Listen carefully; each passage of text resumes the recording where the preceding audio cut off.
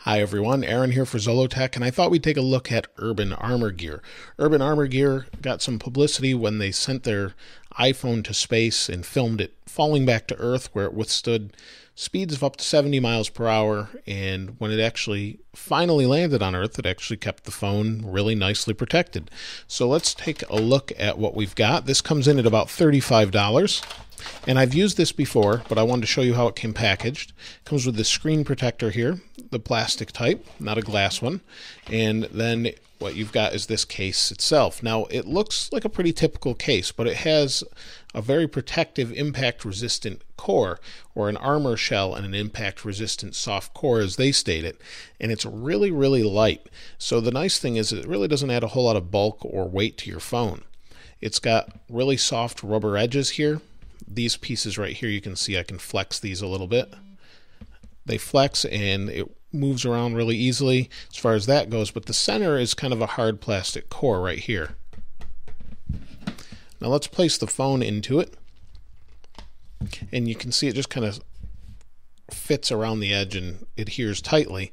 And then what we have is actually looks really nice in the white iPhone or on the white iPhone. You can see it's got this black rim, obviously, and then this back white plastic impact resistant cover.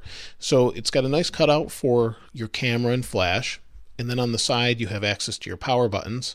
And one of the things I noticed with this case that I liked is when you push the buttons, you still feel a good solid click coming back from the iPhone itself. Same with the volume buttons, and you can easily reach the vibrate switch here or silent switch. So if you push this up and down, you'll still feel that nice click that you get from an iPhone without a case on it. So that's one thing I definitely appreciate. The one bad thing I've seen about it is in the back here. This may bother some people, not so much myself, but uh, other people it may bother. You've got the Apple logo under here that's not really exposed. You just see some of the mirroring effect.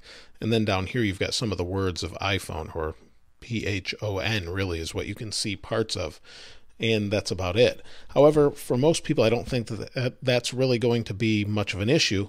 But as far as the phone itself goes, it really doesn't add a whole lot of bulk. It definitely protects the back and keeps it from scratching, and gives you some lay on the table protection with this lip right here, so you can just lay it down and you won't have to worry about scratching the screen. Now it is a little bit slippery and will slide around a little bit. You can see if I slide it on this table here. It slides around a little, but it does have some rubber feet to help you prevent that. So this piece right here is really the only slippery piece. It's this this piece up here is a little more rubbery, so you don't have to worry about that so much. But it does give good access to the screen. Obviously, you're not going to feel the the rounded corners, which is unfortunate, but you really won't get that with any case that I've seen. Not even the Apple cases let you do that. But overall, it's a pretty nice case, and it comes in a couple different colors.